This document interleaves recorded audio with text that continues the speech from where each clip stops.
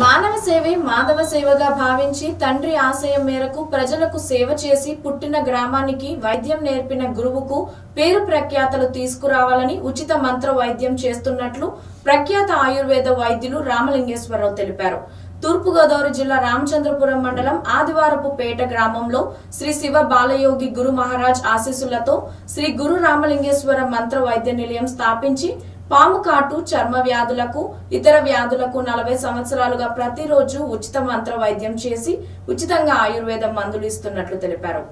కలకండ రామలింగేశ్వర మంత్ర గురు రామలింగేశ్వర మంత్ర వైద్య నిలయం. ఆదివారపేట తూర్పుగోదావరి జిల్లా రామచంద్రపురం మంత్రం ఎప్పుడైతే నేను ఇప్పుడు మీకు చెప్పాను కదా ఆ ప్రకారంగా ఎప్పుడైతే చెప్పేసరికి మా నాన్నగారు అన్నారు గ్రామానికి గురువుకి తల్లిదండ్రులకి పేరు రావాలి.